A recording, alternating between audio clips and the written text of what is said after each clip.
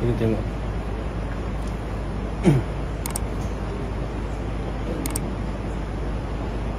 Assalamualaikum warahmatullahi wabarakatuh. Salam satu Malaysia. Salam Malaysia Madani. Kita kudara pada malam ini daripada bumi Tengganu tuan-tuan eh. Uh, malam ini mukadimah saya pada malam ini kita nak membicarakan tentang kenyataan yang dikeluarkan oleh Tun Dr. Mahathir Mohamad. Tun Dr. Mahathir tuan-tuan mengatakan bahawa ahli parlimen, ahli parlimen boleh menukar kerajaan eh boleh menukar kerajaan seperti mana AMNO menukar Muhyiddin Yassin Saudara nampak gayanya Sebenarnya tuan-tuan Apa yang Mahathir hari ini eh, Duduk macam Mandi tak basah Tidur tak lena Makan tak lalu Gundah kulana ni tuan-tuan. Mengelupu tak tentu pasal macam kan ah macam nyawa dah tinggal di hujung tanduk. Kenapa ni tuan-tuan? Sebenarnya dia tahu bahawa masanya untuk dipanggil oleh pihak SPRM sudah sangat dekat. Ha. sudah sangat dekat. Kan dan dia tahu bahawa kedudukan anak-anak dia sudah tidak selamat kedudukan kroni-kroni dia sudah tidak selamat itu sebab kita tengok dia merapu eh melompat sana, melompat sini, masuk parti sana, keluar parti sini. Parti anak dia sendiri pun dia tinggalkan tuan-tuan. Kesian. Uh, saya rasa anak dia pun pening dengan Tun Dr. Mahathir ni saudara. Namun hari ni saya nak beritahu dengan Tun Dr. Mahathir. Memanglah sebelum ni AMNO boleh tarik sokongan eh, terhadap Muhyiddin Yassin walaupun ketika itu ada sebahagian besar MP-MP UMNO tidak mahu menarik sokongan terhadap Muhyiddin Yassin. Sebab apa benda itu boleh berlaku? Sebab pada ketika itu tuan-tuan, sesedara, walaupun bila Muhyiddin nak diangkat menjadi Perdana Menteri, Muhyiddin diberikan sokongan secara M blok oleh Datuk Seri Ahmad Zahid Hamidi, pengurusi Barisan Nasional. Kenapa boleh jadi macam tu? Sebabnya tuan-tuan ketika ke bawah duli tuanku memanggil ahli-ahli parlimen daripada semua parti uh, yang berjumlah 222 orang tidak ada satu orang pun ahli parlimen yang mendapat sokongan simple majority iaitu lebih daripada 112 orang untuk diangkat menjadi Perdana Menteri. Maka bila panggil seorang-seorang Tidak ada seorang yang dapat mandat untuk diangkat menjadi Perdana Menteri Walaupun ada yang mencadangkan Tun Mahathir Ada yang mencadangkan Datuk Seri Anwar Ibrahim Ada yang mencadangkan Tan Sri Muhyiddin Yassin Maka Cara kedua yang digunakan oleh Kebawah Tuanku yang di-Pertuan Agong Ialah meminta supaya ketua-ketua parti berbincang untuk membentuk kerajaan. Jadi atas dasar itulah tuan-tuan bila Mahyudin Yassin nak diangkat menjadi Perdana Menteri eh, sokongan yang diberikan kepada Tan Sri Muhyiddin Yassin adalah dengan sokongan secara M blok oleh ketua-ketua parti.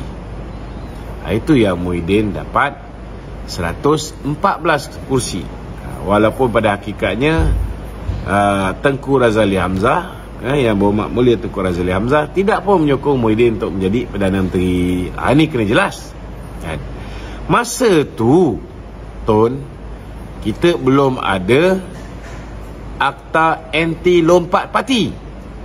Jadi bila tidak ada akta anti lompat parti memanglah Tun dan juga Muhyiddin boleh menjalankan apa yang dipanggil sebagai scheme of things. Iaitu boleh menyogok boleh menawarkan ganjaran. Sama ada dalam bentuk kewangan bentuk jawatan eh sama ada dalam bentuk uh, ugutan. eh, ataupun tawaran untuk tidak didakwa macam setengah-setengah orang yang dah dipanggil SPRM yang ada kes polis cabul kehormatan yang ada kes apa lagi? Uh, ada masalah dengan lembaga hasil dalam negeri kan? Jadi pada ketika itu scheme of things ini memang boleh pakai. Uh, itu sebabnya tuan-tuan bila di dibentuk kerajaan Muhyiddin dia dapat sokongan uh, daripada diri dia ataupun daripada parti dia sebenarnya lima orang saja. Eh lima orang. Mula-mula enam tapi Dr. Syarudin bekas susah politik dia pun tinggalkan dia menyertai Mahathir Mohamad. Uh, yang lagi 16 dia curi daripada UMNO MP UMNO yang lagi 9 dia curi daripada PKR Ha, termasuklah adalah uh, MP-MP PKR, DAP yang melompat menjadi bebas tapi menyokong dia. Okey. Persoalan dia hari ini, tuan-tuan. Boleh tak MP memberikan sokongan kepada individu untuk diangkat menjadi Perdana Menteri kan? Secara bersendirian selepas akta anti lompat parti diwujudkan. Jawapan dia boleh. Boleh. Tapi di mana? Di Sabah. Sebab apa? Sebab di Sabah akta anti lompat parti belum belum diluluskan, belum dibentang dan belum diluluskan. Itu sebab orang Sabah masih boleh lompat sana lompat sini. Eh? Ah, itu sebab ahli parlimen kita uh, ahli apa ni? Ahli Dewan Undangan Negeri kita lima orang eh. Eh, lima orang telah memberikan sokongan kepada GRS di Sabah. Tetapi di pusat ni Tun, kita dah buat akta anti lompat parti. Kan? Maknanya dah tak boleh nak lompat-lompat ataupun dah tak boleh nak bagi uh, SD. personal SD kepada sesiapa untuk menjadi Perdana Menteri. Kan? Kalaulah contohnya, contohnya macam Isyamuddin kan, dia beri SD kepada Muhyiddin untuk menjadi Perdana Menteri. Kalau pihak parti Barisan Nasional mengambil tindakan, contohnya, kan, apa tindakan boleh diambil kepada orang yang lompat parti ni? Susah Agung Barisan Nasional boleh menghantar surat kepada Speaker Dewan Rakyat memaklumkan bahawa kerusi parlimen sembrong dikosongkan. Contoh kan tuan. Contoh. Sebenarnya boleh buat pun, kan? Hmm. Ha, tapi saya bagi contoh, ha, contoh. Ha. Jadi kalau Tun berhasrat untuk tarik sokongan ahli parlimen, kan? Ha, untuk menumbangkan kerajaan Datuk Seri Anwar Ibrahim ini, silakan. Eh, silakan. Kita pun tak nak eh, ada orang dalam AMNO ini masih lagi berkiblatkan kepada Tun Dr. Mahathir atau berkiblatkan kepada Tan Sri Muhyiddin Yassin.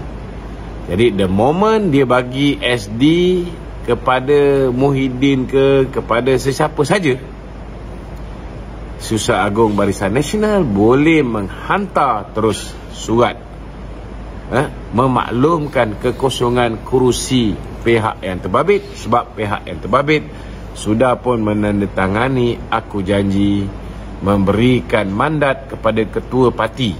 Ketua parti ni kerusi BN lah. Eh, untuk merunding berunding dan membuat keputusan bagi pihak semua ahli parlimen dengan parti mana kita nak bergabung dan siapa yang kita nak angkat menjadi Perdana Menteri. Ha. Okey, saya harap ini jelas lah ya, Tun Dr. Mahathir. Okey, ada lagi? Silakan. Barang siapa ada sebarang soalan, ha, sama ada soalan daripada orang yang masih hidup ataupun yang telah mati. Bolehlah ajukan soalan anda di talian 01135 9540451135954044 silakan ya tu adakah kemungkinan Tuan ni lupa atau dia ni tak sedar yang dia ni bukan ahli parlimen sebab dia baru lompat parti baru-baru ni Oh ya. Ya, betul. Oh, betul juga. Ha, dia kata, oh, mungkin saya, saya lompat tak ada apa pun. Ya, betul betul. Memang orang macam dia lompat tak ada apa sebab dia tidak terikat dengan akta anti lompat parti. Akta anti lompat parti ni tuan-tuan hanya berkuat kuasa kepada ahli-ahli parlimen. Ha, bagi orang yang gagal untuk memenangi sebagai hilang ahli parlimen, apatah lagi orang yang hilang deposit. Maka dia tidak terikat, kan? Dia tidak terikat. Jadi dia anak dia, kan? Dan uh, lebay-lebay malang yang lain tidak ada masalah. Tidak ada ha? Nak lompat berapa kali pun tak kisah. Nak lompat berapa kali pun tak kisah. Eh, tidak ada sebarang masalah. Dia tidak akan kehilangan kerusi dia. Ha, sebab dia tidak ada kerusi untuk dihilangkan. Ha, eh. Okey. Tok, dalam kenyataan dalam Facebook dia masih lagi ada lagi kenyataan itu berkenaan hmm. dengan AMNO tu disebabkan kegagalan untuk melaksanakan proklamasi uh, Melayu ni tu. Ya. Yeah. Uh, Tun menulis wahai ahli AMNO sedalah hmm. AMNO sudah gugur perjuangan asalnya parti AMNO tak ada lagi. Yang ada ialah bangkai yang diperalat untuk menyelamat pemimpin yang bergelombang dengan jenayah. Ya uh, apa yang saya baca ni dia yeah. Menggambarkan uh, ahli-ahli AMNO ni seperti bangkai yang diperalat. Dia menggambarkan yeah. ahli AMNO ni sebagai bangkai. Sebenarnya Alhamdulillah Ahli UMNO semua telah terselamat daripada menjadi bangkai kepada Tuan Dr. Mahathir Dan Ahli UMNO juga Alhamdulillah telah terselamat daripada menjadi bangkai kepada Muhyiddin Yassin Hari ini Ahli UMNO sudah pun bersatu hati Menolak semua pihak yang cuba menguasai UMNO kan? Dan hari ini Alhamdulillah kita ada satu pasukan yang sangat kuat.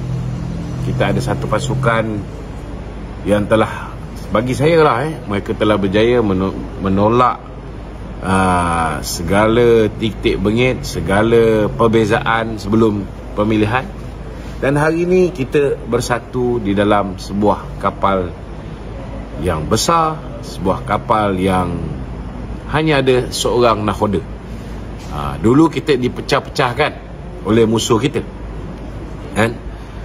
Musuh kita eh, aa, tak puas hati dengan pemimpin nombor satu kita maka dia lantik orang lain menjadi timbalan Perdana Menteri. Bila kita asak eh, sehingga kan dia terpaksa meletak jawatan sebagai uh, Perdana Menteri dia pas pula baton tu kepada orang yang dia yakin boleh uh, menjaga kepentingan dia. Boleh meneruskan polisi-polisi dia kan? Uh, boleh mematuhi perjanjian-perjanjian dengannya. Jadi bagi saya alhamdulillah. Sekarang ni kita bebas. Dan dalam pilihan raya akan datang eh, saya nak beritahu bahawa Barisan Nasional akan bertanding atas tiket Barisan Nasional. Kita akan gunakan logo Dacing. Kan? Ha, itu sebab eh, rakan-rakan yang risau sangat. Kan? Uh, risau sangat. Ada ada setengah-setengah orang tu dia kata macam mana ni? Kita belum lagi akrab belum lagi rapat. Uh, insyaallah lepas ni kita akan mula akrab dan kita akan mula rapat. Hari ini di Tengganu pun kan? Uh, presiden dah berikan mandat untuk uh, Badan Perhubungan Negeri Tengganu meneruskan kerjasama dengan PKR di sini menemukan kerjasama dengan amanah. Tadi pun Alhamdulillah eh, dalam majlis uh, yang dianjur yang dianjurkan oleh Kemas eh, yang melibatkan Yang Amat Berhormat Timbalan Perdana Menteri Presiden UMNO.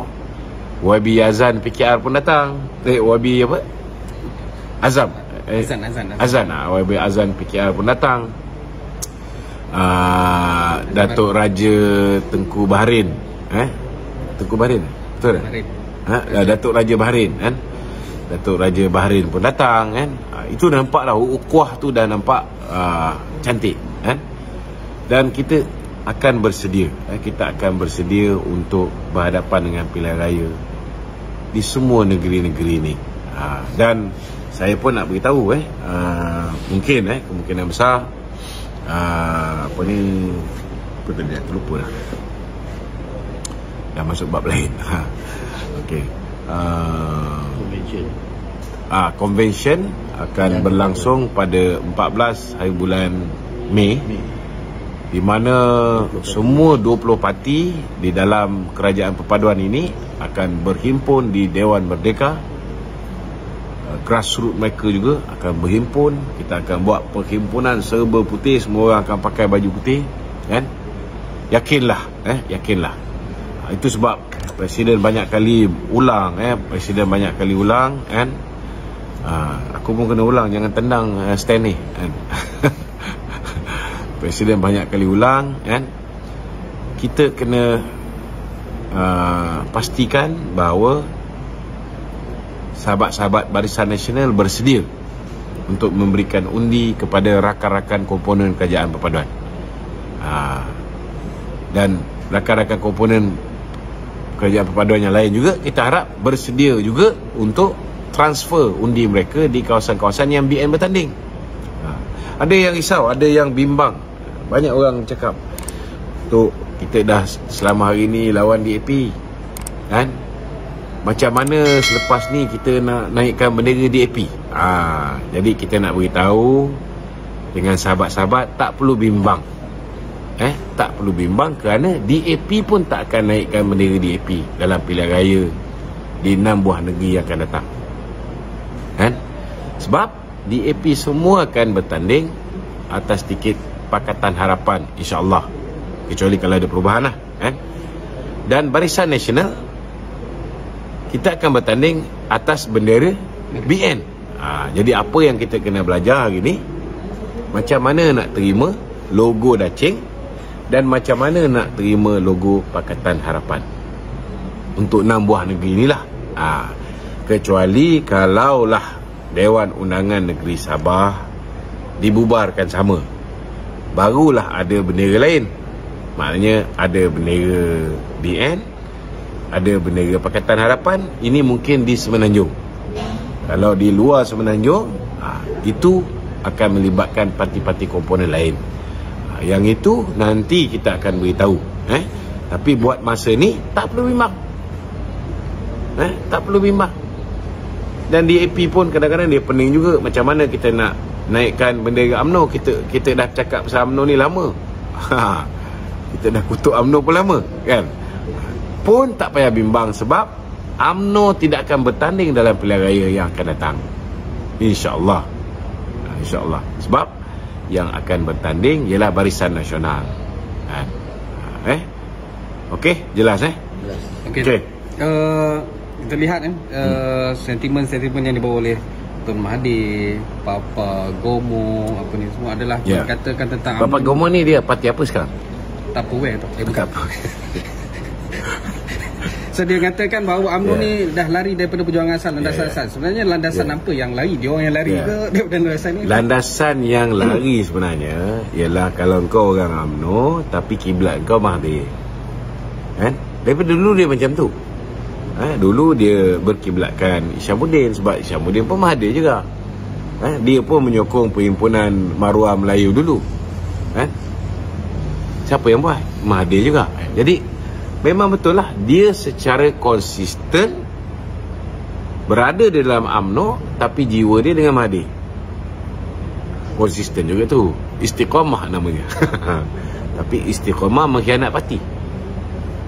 Betul tak? Cuma dia frust kita tak termakan dengan Kongres Maruah Melayu Mahathir yang pertama. Dan kita pula menolak apa yang dia, dia nak buat yang baru ni? Proklamasi Melayu. ha, proklamasi Melayu kan? Kurang-kurang kalau nak suruh proklaim pasal hal Melayu ni biarlah orang Melayu yang proklaim betul tak? Kan? Ini orang daripada Kerala dia ambil untuk proklaim Melayu. Dah lah kita orang Melayu ni dah banyak dah bertolak ansur. Bagi peluang orang daripada Kerala ni jadi Perdana Menteri 22 tahun tambah lagi 22 bulan. Kan? Ha, lepas tu dia cakap semenjak saya tidak menjadi Perdana Menteri Melayu miskin Padahal ketika dia menjadi Perdana Menteri 22 tahun ikuti Bumi Putra 2 2 uh, ni 18%. Lepas 21 tahun, eh, 22 tahun dia memerintah masih lagi 18%. Tak naik pun setakuk menjadi 19%. Ha, lepas tu dia kata dia memperjuangkan nasib Bumi Putra. Putra mana yang diperjuangkan Selain daripada Syed Mokhtar Dan rakan-rakan yang sewaktu dengannya Kroni-kroni dia Kan Jadi benda ni tak betul lah Kan Biarlah kalau Papa Gomo rasa dia dah sebati dengan Mahathir ni Saya cadangkan Banyak jawatan kosong dalam putra tu Kan ha. Hanya putra je sanggup Untuk mengusungkan jawatan apa yang tertinggi dalam parti tu diberikan pada Mahdi.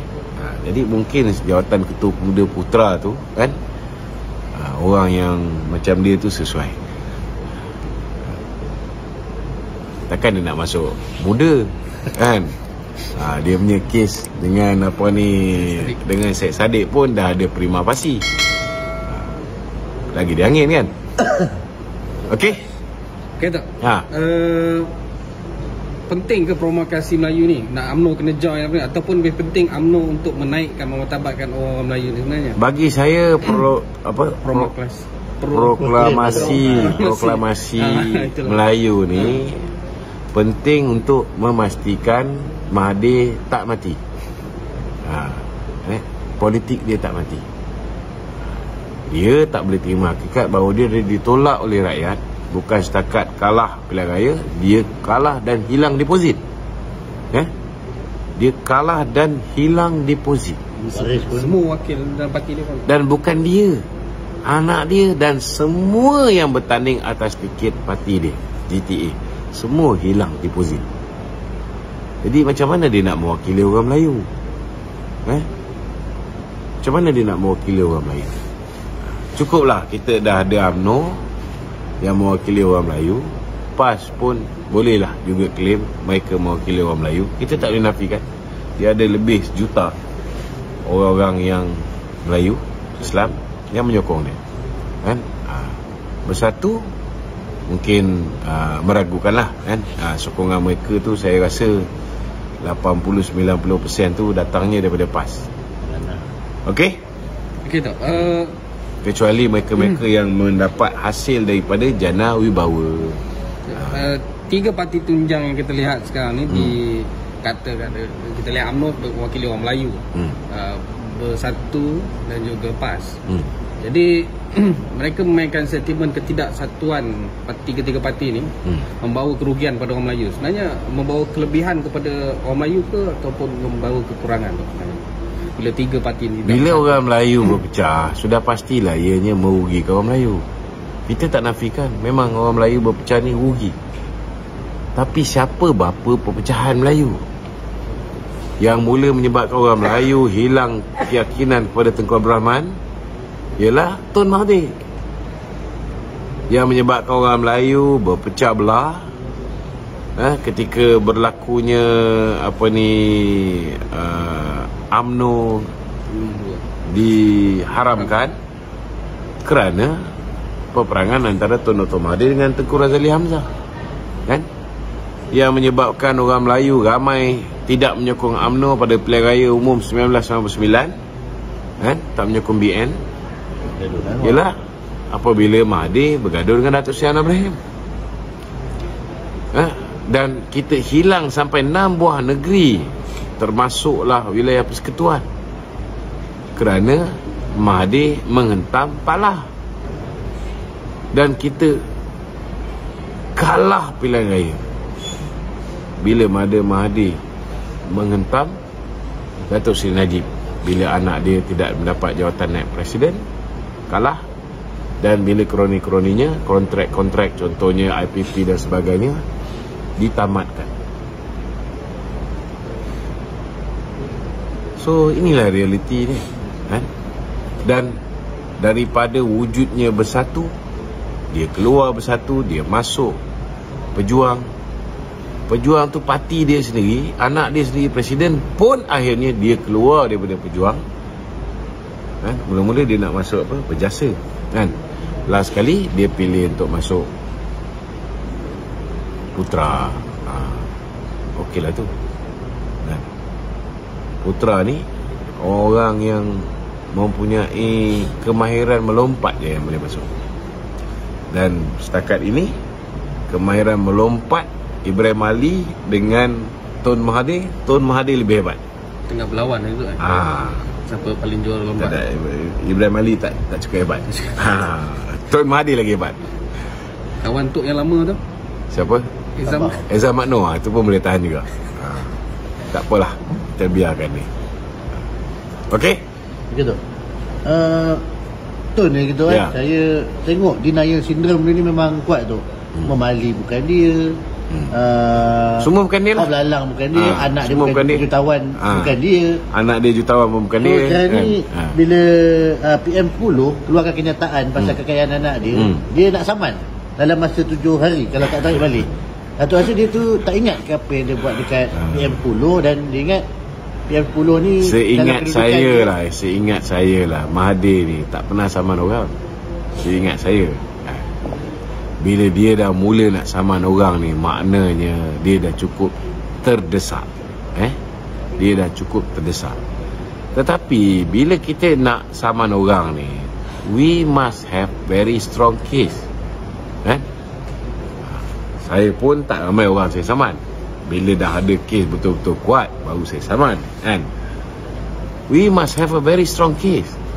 Dan kalau dia nak saman Datuk Seri Ibrahim yang hari ini berkuasa yang mana semua dokumen tentang penyelewengan dia bukan setakat 22 bulan yang baru ni 22 tahun yang lalu pun semua ada di tangan Datuk Seri Ibrahim bagi saya itulah dia buat kerja gila eh? dia buat kerja gila eh? takut tak sempat dia nak saman dia bagi tujuh hari dia dulu masuk lokap ha. ini ingat eh? Dia punya kesalahan bukan sikit banyak eh? dan semua ini masih ada dalam dalam rekod eh? siasatan sudah pun dibuat dan bila-bila masa dia boleh didakwa.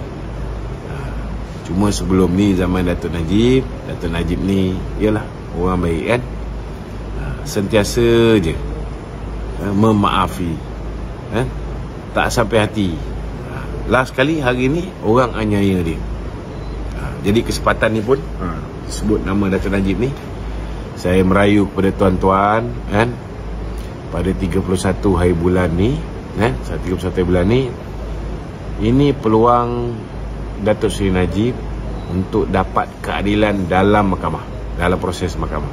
Ha. Kalau ikut hujah-hujah yang diberikan oleh peguam-peguam Datuk Seri Najib, memang patut dia menang. Eh, tak ada sebab dia nak kalah. Ha, tuan-tuan, eh. Tapi yalah.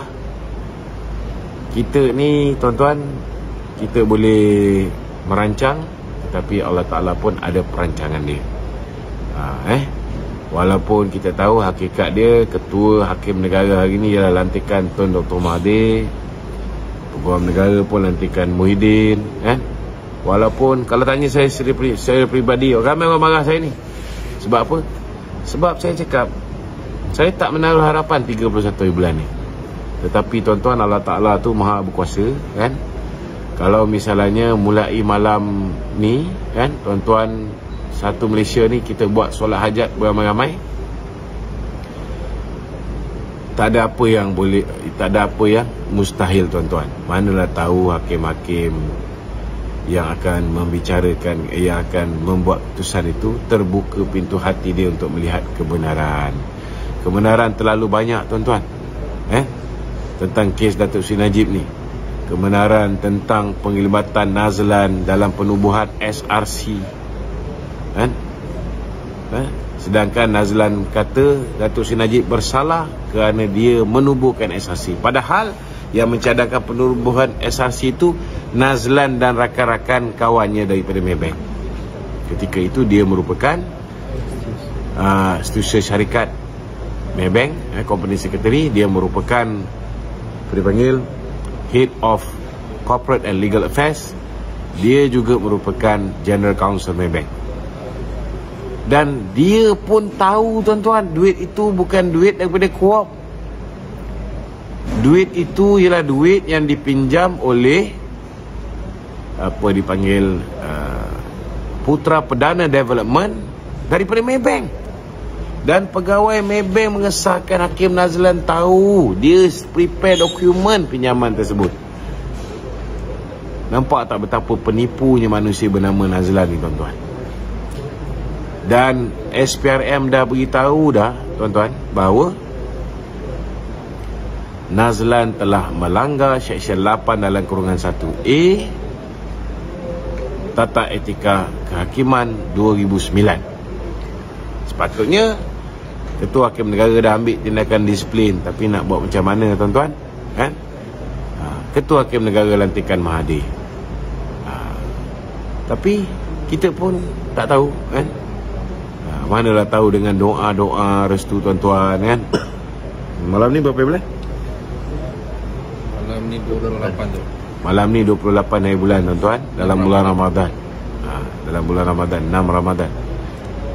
Ha, 28 tuan-tuan. 29 30 Kita ada 3 hari betul-betul Tuan-tuan bacakan Yasin Bacakan doa Buat solat hajat. Mohon semoga Allah Ta'ala lembutkan hati hakim-hakim ni Supaya mereka ingat Tentang akhirat mereka ingat bahawa dunia ini hanya tempat tumpangan sementara. Akhirat juga yang akan kekal selama-lamanya. Jadi, manalah tahu dilembutkan hati mereka untuk menghentikan kezaliman ke atas Datuk Seri Najib. Manalah tahu tuan-tuan walaupun saya tak percaya dengan Tengku Maimun ni. Kan? Manalah tahu tuan-tuan tiba-tiba kan? Tiba-tiba hakim membuat keputusan membebaskan Datuk Seri Najib. Apatah lagi dengan bukti-bukti nyata tuan-tuan tentang penglibatan Hakim Nazlan. Eh yang jelas mempunyai konflik kepentingan dalam kes ini dan kes ini dibicarakan semula di hadapan seorang hakim yang adil. Bila dibicarakan semulanya tuan-tuan secara automatik Datuk Seri Najib mesti dibebaskan. Eh dan diberikan ikat jamin.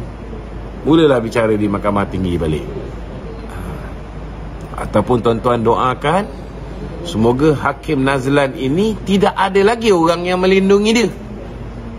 Kalau Hakim Nazlan didakwa saja tuan-tuan secara automatik Datuk Najib pun mesti dibebaskan. Eh? sebab bila didakwa maknanya sahlah bahawa ada konflik of interest maka dia perlu dibebaskan dulu dan dibicarakan di hadapan seorang hakim yang adil dan tidak ada konflik of interest. Eh ini kena jelas tuan-tuan. Walaupun saya secara peribadilah minta maaf cakap lah tuan-tuan eh. Saya kecewa lah kerana sehingga hari ini kita tak boleh tukar ketua hakim negara. Kan? Dan saya juga kecewa kerana sehingga hari ini kita tidak boleh tukar peguam negara. Tapi apakan daya kita tidak ada kuasa tuan-tuan eh kita tak ada kuasa ha. Datuk Seri Ibrahim mungkin dia ada kuasa tapi dia pun ingat dulu kita duk bantai Tuan Dr. Mahathir bila mana Tuan Dr. Mahathir menggugurkan kes Lim Guan Eng ha. dia kalau nak tolong Datuk Najib pun dia tak boleh gugurkan kes Lim Guan Eng seperti mana eh, kes Datuk Najib seperti mana Tuan Mahathir gugurkan kes Lim Guan Eng dia pun tak nak dituduh eh, bila dapat kuasa arahkan peguam negara letak jawatan. Eh, kemudian lantik peguam negara yang merupakan peguam kepada Lim Guai.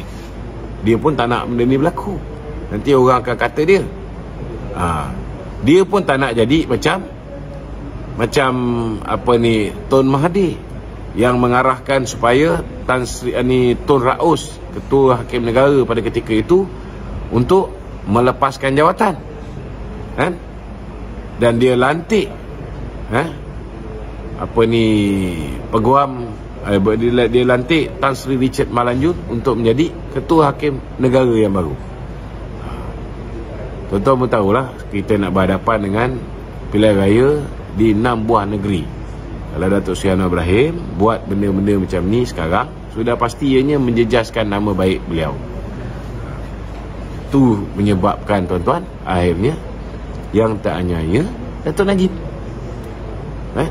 yang tak tak anyaya Datuk Najib sebab dia menjadi mangsa keadaan ya, jadi Saya yakin lah tuan-tuan, saya yakin dan tuan-tuan doakan juga supaya Datuk Seri Anwar Ibrahim diberikan kekuatan tuan-tuan eh, selepas dia pilihan raya 6 buah negeri ni supaya dia betul-betul boleh buat reformasi institusi kehakiman, reformasi jabatan peguam negara, reformasi semua institusi-institusi asas negara insya-Allah. Okey? Begitu. Ya. Membalas kenyataan Setiausaha Agung UMNO Ashraf Wajidi Dusuki Fazli Syari menyatakan uh, kenyataan Ashraf Wajidi Dusuki Ya. Tidak lagi memikirkan soal MN sebaliknya fokus bekerjasama dengan Keadaan Perpaduan. Ya. Fazli Syari bagi bagi tahu selamat berjaya sebab uh, sekarang ni dia fokus dengan Perikatan Nasional yang mendapat sokongan majoriti Melayu dan Bumi Putra. Apa Ya. pandangan tu? Tidak ada masalah untuk dia bersifat optimistik. Ah, Baguslah.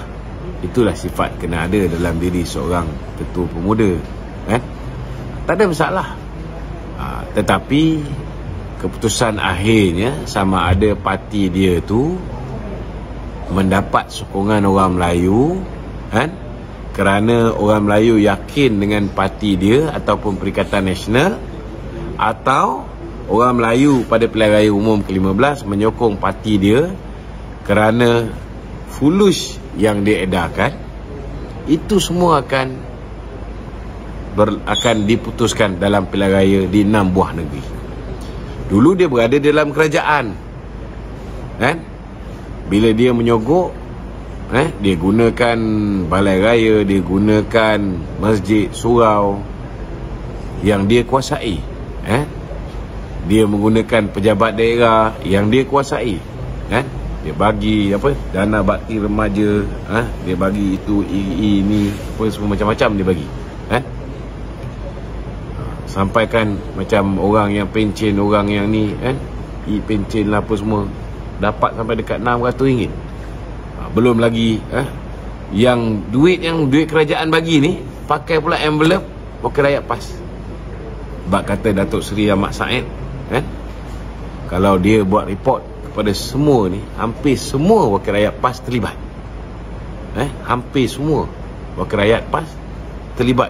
Dan kalau dihadapkan ke muka pengadilan kerana merasuah hampir semua boleh didakwa di mahkamah ni dia cerita pasal Terengganu lah ha.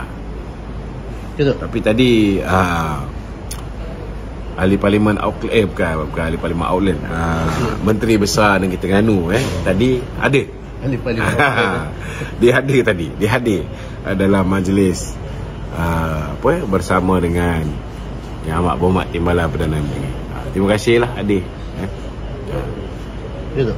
So saya minta saudara Fazli ni kalau betul dia nak pastikan bahawa parti dia tu kan betul-betul mendapat sokongan orang Melayu cuba mulakan dengan berhenti menyogok orang Melayu.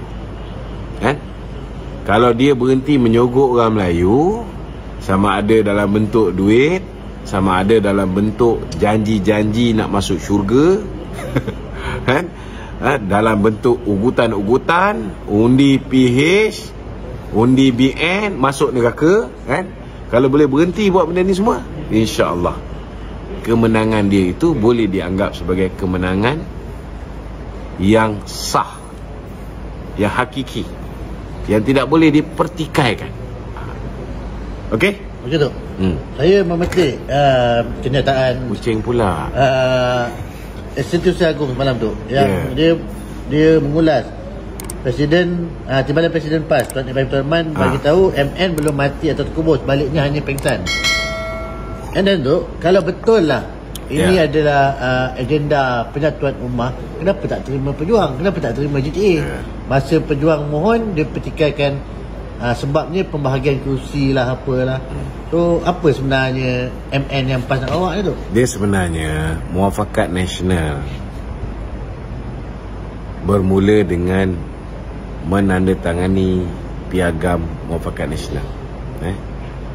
Di mana satu perhimpunan besar-besaran di antara penyokong AMNO, penyokong PAS diadakan yang dipanggil Perhimpunan Penyatuan Ummah kan? di PWTC dan kita tanda tangan piagam muafakat nasional yang itu betul lah seperti mana yang diperkatakan oleh apa ni uh, diperkatakan oleh Susah Agung UMNO Dr. Ashraf Wajidi bahawa muafakat nasional yang itu dah mati kan tetapi kalau Tuan Ibrahim Tuan Man nak hidupkan muafakat nasional yang dia kata dah pengsan tu boleh cari Anwar Musa. Anwar Musa ada simpan muafakat nasional yang itu. Ha, NGO tu kan? Ha, ada. Ha, carilah Anwar Musa. Anwar Musa pun dah hampir nak pengsan. Kan? Jadi kalau misalnya PAS boleh mempertimbangkan kalau dia tak dapat jadi ahli parlimen dia dapat jadi adun pun jadilah. Kan? Ha, manalah tahu kan? Selama hari ni PAS menteri besar dia tok guru tok guru kan? Ha, sekali-sekala lantiklah tok garu jadi menteri besar. Mungkin boleh membawa pembangunan pada negeri Kelantan. Air air Kelantan yang keruh tu mungkin boleh jadi cernih. Ha, kan? Okey Begitu. Ada lagi? Uh, pembersihan parti apa Datuk nampak hikmah dalam kita gantung dengan pecat orang yang bagi kesan negatif kepada parti itu. Bagusnya bila kita pecat ini kan setidak-tidaknya we disassociate ourselves from them. Kalau dulu ada orang AMNO yang masih lagi bersama dengan mereka maka kita ada api dalam sekap. Kan? Kita ada anai-anai yang Makan merosakkan rumah kita ni secara senyap-senyap. Kan? Tapi bila kita dah pecat mereka kan? Ali UMNO ni dia ada sifat satu dia sifat setia eh? So bila dia ada sifat setia tu mereka akan meletakkan keutamaan parti ni mengatasi uh, mengatasi apa ni pemimpin yang mereka ni eh, pemimpin yang mereka apa ni mereka jadikan idola tu ha, maknanya mereka they put the party first eh, berbanding dengan yang lain-lain ha, itu satu kelebihan lah ha. digantung ni kan eh, orang ini masih lagi ahli parti tapi digantung keahlian dia. Bermakna bila cukup tempoh 6 tahun sekiranya sepanjang tempoh 6 tahun itu mereka menjaga disiplin diri mereka. Secara automatik selepas 6 tahun keahlian mereka akan dikembalikan. Tetapi ada juga ha, contoh-contoh ha, orang yang digantung 6 tahun Baru setahun lebih Dia dipecat. Macam Tun Faisal. Sebab dia memberikan contoh tauladan yang baik Betapa orang yang pengkhianat ini Kadang-kadang tak patut diberikan muka Dengan hanya digantung. Kan? Bila dia kena gantung pun Dia masih lagi menjalankan kerja-kerja Menghentam parti Melemahkan parti Memburukkan parti Sehinggalah parti akhirnya terpaksa mengambil keputusan menambah hukuman daripada digantung kepada dipecat. Ha. Tapi kalau orang yang betul-betul setia dengan parti walaupun digantung bila orang tawarkan dia jawatan untuk bertanding atas tiket parti Perikatan Nasional contohnya dia tolak dua tiga kali orang datang dia tolak kan make sure lah. Selepas ini kalau dia serius nak kembali pada parti kita kan janganlah buat ha, benda-benda subversif belakang eh kan. Jangan hati mulut cakap nak masuk balik kan. Tetapi senyap-senyap dia menghadiri perjumpaan sana ke perjumpaan sini ke perjumpaan yang nak melemahkan parti kita. Jadi kalau kita tengok kita teliti memang dia serius kan bersama dengan kita saya yakin Datuk Seri Zahid ni seorang yang pemaaf kan kalau nak kira kan saya ni apa saya tak cakap pasal Datuk Zahid betul tak ha. Tetapi bila kita tunjukkan kesetiaan kita pada parti kan dan kita pun kena kena minta maaf lah. Kalau kita silap kita minta maaf. Kadang-kadang kita tak silap pun kita kena minta maaf juga. Kan? Sebab mungkin yalah kita cakap tu kita dah langgar tata etika uh, ahli yang tak boleh menceritakan tentang hal uh, hak ehwal parti di media. Media ataupun media sosial kan? So mesti kita ada ada buat salah. Kalau tidak pun parti takkan pecat kita ataupun gantung kita. Jadi kalau misalnya ahli-ahli yang betul-betul serius nak kembali pada parti dan dia hanya digantung ataupun dia dipecat kan? Kalau dia menunjukkan kesetiaan daripada parti masih berjuang untuk parti kan? Tak ada goyang kan? Insyaallah. Tak semestinya dia kena 6 tahun gantung. Dia kena tunggu sampai 6 tahun. Tak semestinya dia kena pecat dia kena tunggu sampai berpuluh tahun nak patah balik. Saya salah satu daripada contoh yang boleh dijadikan rujukan. Selepas 19 bulan dipecat saya diterima balik. Eh, kita orang yang tak bersama kita pun Datuk Seri Presiden lantik duduk dalam dalam barisan majlis kerja tertinggi yang baru. Kita nak kita nak AMNO ni bersifat inklusif. Kita nak supaya AMNO ni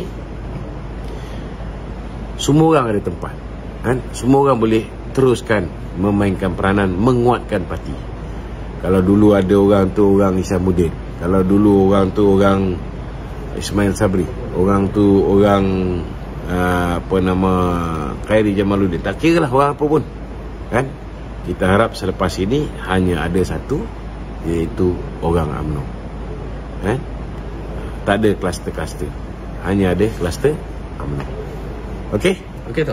Ya. Uh, kalau kita lihat uh, tindak uh, adakah uh, mewujud lagi kem-kem dalam UMNO ni tu? Saya rasa saya dah jawab dah benda tu. Sebelum ni memang ada camp. Tapi sekarang ni Alhamdulillah kita hanya ada satu camp. Camp UMNO. Hanya ada satu kluster. Kluster UMNO. Eh? Kita harap tidak ada lagi lah orang yang cuba memecah belahkan kita. Kalau ada orang cuba memecah belahkan kita, kita katuk dia. ha, apa masalah? tak susah. Kan? Ha, kita ada kita ada undang-undang dan perlembagaan parti. Dia langgar je undang-undang ni, eh? Kita ambil tindakan disiplin. Ha, berbeza pendapat tak ada masalah. Berbezalah pendapat. Eh? Ha, kita tengok ada juga yang berbeza pendapat tentang uh, pertandingan presiden dengan timbalan kalau boleh nak dipertandingkan kan kita tengok Datuk Alwi Cik Mat dia tak bersetuju tak dipertandingkan dia bertanding dia menang juga kan? Maknanya demokrasi itu subur di dalam UMNO. Ha, itu tidak menidakkan orang yang berbeza pendapat. Ada ramai lagi kan? Contoh-contoh yang boleh kita beri. Okey? Okey. Okay. Saya minta- Uh, satu lagi, Dok. Sekarang ni tengok tadi pun Datuk ada update dekat Facebook pelantikan CP Datuk Ayub Han. Ah kita ucapkan sebagai pengarah jabatan. kita ucapkan tahniah kepada pengarah Jabatan Siasatan Jenayah Narkotik Chief uh, uh. Commissioner of Police. Uh, Datuk Seri Ayub Han yang telah pun uh, dilantik menjadi pengarah Jabatan Siasatan Jenayah Bukit Aman yang baru berkuat kuasa 16 hari bulan April ni insyaallah. Kita kita ucapkan selamat bertugas kepada Datuk Seri Ayub Han. Semoga aktiviti jenayah dalam negara kita ini dapat dikurangkan oleh beliau insyaallah. Okey? Minta tolong share live kita pada malam ni. Siapa yang ada kemampuan untuk memotong video-video saya ni nak jadikan video pendek nak tambah, tambah dengan infografik dan sebagainya silakan saya halalkan. Assalamualaikum warahmatullahi wabarakatuh